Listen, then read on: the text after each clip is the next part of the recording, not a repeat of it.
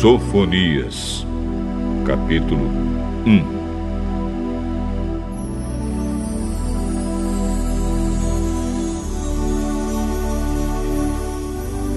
Esta é a mensagem que o Senhor Deus deu a Sofonias no tempo em que Josias, filho de Amon, era rei de Judá.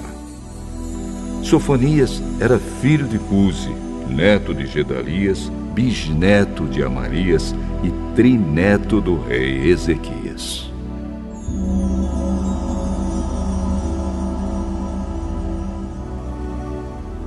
O Senhor Deus diz: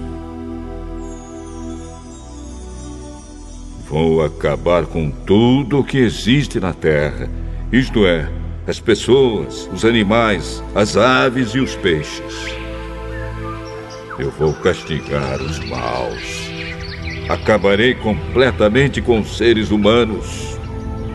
Castigarei o povo da terra de Judá e os moradores de Jerusalém farei desaparecer de Jerusalém o que ainda resta da adoração a Baal, e todos esquecerão os sacerdotes que serviam esse Deus pagão.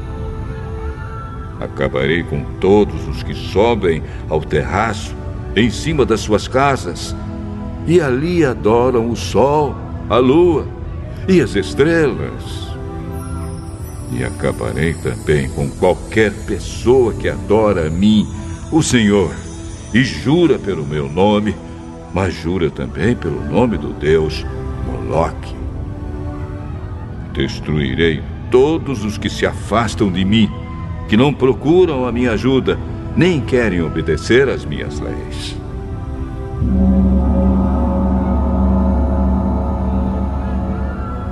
Está chegando o dia em que o Senhor Deus vai julgar o seu povo. Portanto, calem-se todos na sua presença. Ele vai oferecer o seu povo como sacrifício e já convidou os inimigos para o ajudarem a fazer isso.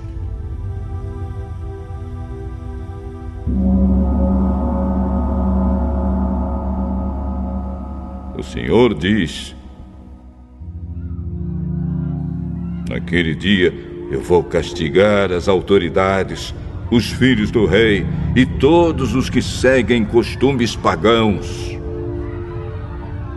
Castigarei também todos os que me adoram, como os pagãos adoram seus deuses, e aqueles que enchem o templo do seu Deus com presentes que juntaram por meio de roubo e violência. Naquele dia, haverá gritos de dor perto do portão dos peixes, na cidade de Jerusalém. Haverá gente gritando por socorro no bairro novo da cidade, e nos montes se ouvirão gritos de desespero. Chorem também, vocês que moram na Cidade Baixa, pois todos os comerciantes serão mortos. Naquele dia, eu vou pegar lamparinas e revistar a cidade de Jerusalém. Castigarei todos os que estão tranquilos e satisfeitos, os que pensam assim. O Senhor Deus, ah, não vai fazer nada. Não vai salvar, nem castigar. Por isso os bens deles serão roubados e as suas casas serão destruídas. Eles construirão outras, mas não morarão nelas. Farão plantações de uvas, mas não beberão o vinho. O grande dia do Senhor está perto e vem chegando depressa. Será um dia terrível em que até os soldados mais valentes gritarão de medo. Será um dia de ira, um dia de aflição e angústia, de ruína e destruição, de escuridão e trevas. Será um dia de nuvens escuras e pesadas. Será um dia de sons de corneta e de gritos de batalha de soldados atacando cidades cercadas de muralhas e protegidas por altas torres de vigia. O Senhor diz: Farei cair tantas desgraças sobre as pessoas que elas andarão de um lado para o outro como se estivessem cegas.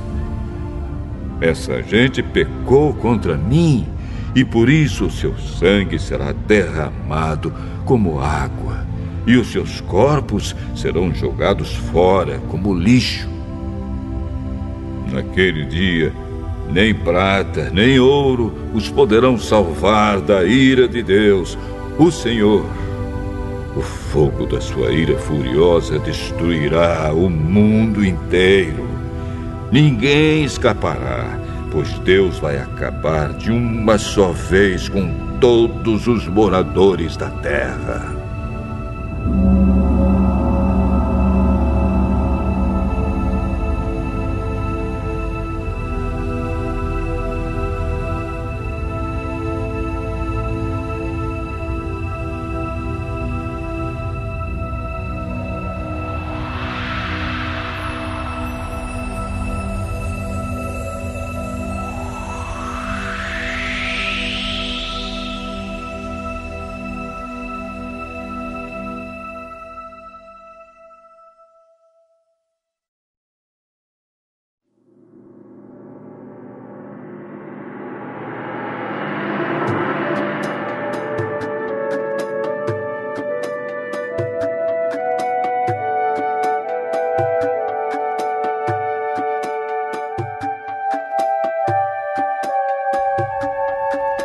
Sofonias, capítulo 2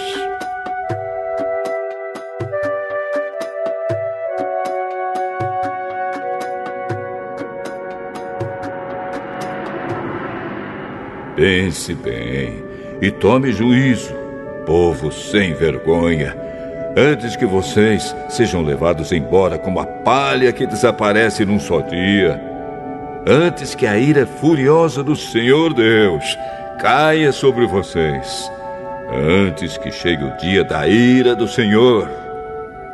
Voltem para Deus todos os humildes deste país, todos os que obedecem às leis de Deus. Façam o que é direito e sejam humildes. Talvez assim vocês escapem do castigo no dia da ira do Senhor a cidade de Gaza ficará deserta e Asquelon será abandonada. Os moradores de Asdod serão expulsos em menos de um dia, e os moradores de Ecrom serão levados embora como prisioneiros. Ai de vocês, filisteus, que moram no litoral do mar Mediterrâneo, o Senhor Deus passou esta sentença contra vocês. Vou acabar com Canaã, a sua terra. Todos os moradores serão mortos. O seu país, no litoral, vai virar pastos, onde haverá barracas para os pastores e currais para os rebanhos. Em Judá, as pessoas que não forem mortas ficarão com as terras do litoral. Ali elas cuidarão dos seus rebanhos e dormirão nas casas de Asquelon, pois o Senhor Deus vai lembrar do seu povo e o fará prosperar outra vez.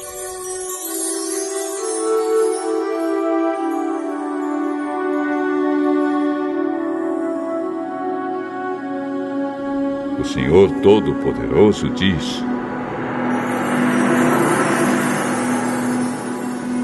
Ouvi os Moabitas e os Amonitas zombarem do meu povo e o insultarem. Eles se gabaram de que iam conquistar a sua terra. Portanto, eu, o Deus de Israel, juro pela minha vida que os países de Moabe e Amon vão ser destruídos como foram as cidades de Sodoma e Gomorra. As terras deles serão deserto para sempre. Ficarão cobertas de espinheiros e haverá poços de sal por toda parte. Os que sobrarem do meu povo levarão embora tudo o que pertence aos Moabitas e aos Amonitas e ficarão com as terras deles. É assim que eles serão castigados, pois ficaram orgulhosos, insultaram o povo do Senhor Todo-Poderoso e se gabaram de que iam conquistá-lo. O Senhor os atacará de um modo terrível. Ele acabará com todos os deuses do mundo. Então, todos os povos, cada um do seu próprio país, adorarão a Deus. O povo da Etiópia também será morto pela espada de Deus, o Senhor. Deus levantará a mão contra a Assíria no norte. Ele destruirá aquele país, acabará com a cidade de Nínive e a deixará sem moradores, como se fosse um deserto onde não existe água rebanhos de ovelhas e todo tipo de animais selvagens descansarão na cidade. Corujas pousarão nas ruínas das casas e piarão nas janelas, e corvos soltarão gritos nas soleiras das portas. Toda a madeira das casas será arrancada. Tudo isso vai acontecer com Nínive, a cidade orgulhosa que se gabava do seu poder, dizendo: ah, Não há outra cidade tão poderosa como eu. E ela vai virar um deserto, um lugar onde moram animais. Quem passar por perto vai ficar espantado e horrorizado ao ver tamanha destruição.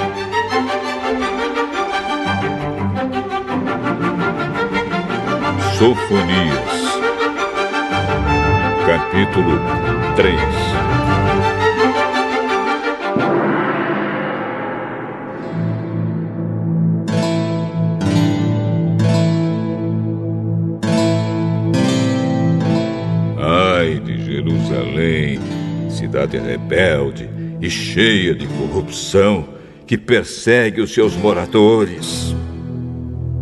Jerusalém não escuta o que o Senhor Deus diz, nem quer que ele a corrija. Não confia no seu Deus, nem procura sua ajuda. As suas autoridades são como leões que rugem, e os juízes são como lobos ferozes que devoram tudo de uma vez, sem deixar nada para o dia seguinte. Os profetas são orgulhosos e enganadores. Os sacerdotes profanam o santuário e desobedecem à lei de Deus. Mas o Senhor ainda está na cidade e sempre faz o que é certo e nunca o que é errado. Todas as manhãs, sem falta, ele manda fazer o que é direito. Mas os que são maus continuam na mesma e não se sentem envergonhados. O Senhor Deus diz: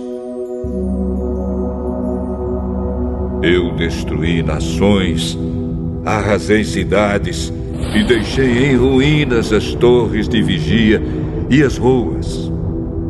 As cidades estão desertas, não há mais ninguém morando nelas. Pensei assim. Agora o meu povo vai me temer. Eles deixarão que eu os corrija e não esquecerão as muitas vezes em que eu os castiguei. Eles se esforçaram ainda mais para fazer tudo o que é mal. Portanto, o Senhor Deus diz: Esperem o dia em que vou me levantar e acusar as nações. Decidi reunir todas as nações, todos os reinos, a fim de castigá-los. Eles sentirão a minha ira, pois derramarei o meu furor sobre eles, e o mundo inteiro será destruído pelo fogo da minha ira. Então farei com que os povos parem de adorar ídolos e adorem somente a mim, o Senhor. E farei também com que todos me obedeçam com a mesma dedicação. E o meu povo, que está espalhado pelas nações, virá me oferecer sacrifícios. Eles virão até dos lugares mais distantes da Etiópia.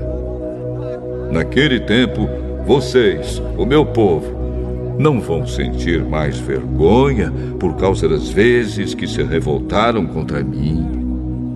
Pois eu farei desaparecer do meio de vocês todos os orgulhosos e vaidosos. Nunca mais vocês vão se sentir orgulhosos do meu Monte Santo.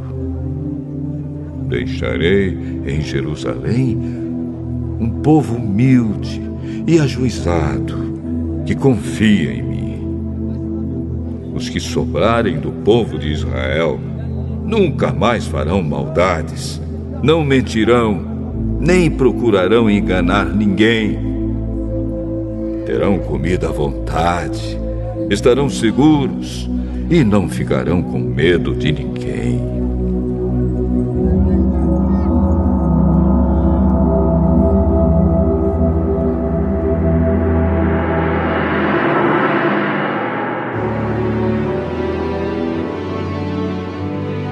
povo de Israel, cante louvores a Deus.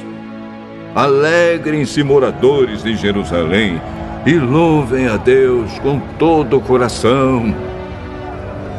O Senhor Deus anulou a sentença que havia contra vocês e afastou todos os inimigos do seu povo. O Senhor, o Rei de Israel, está com vocês e vocês não precisam mais ter medo da desgraça. Chegará o dia em que dirão a Jerusalém: Não tenha medo, povo de Sião. Não desanime, nem perca coragem, pois o Senhor, seu Deus, está com vocês. Ele é poderoso e o salvará. Deus ficará contente com vocês e por causa do seu amor lhes dará nova vida. Ele cantará e se alegrará, como se faz num dia de festa.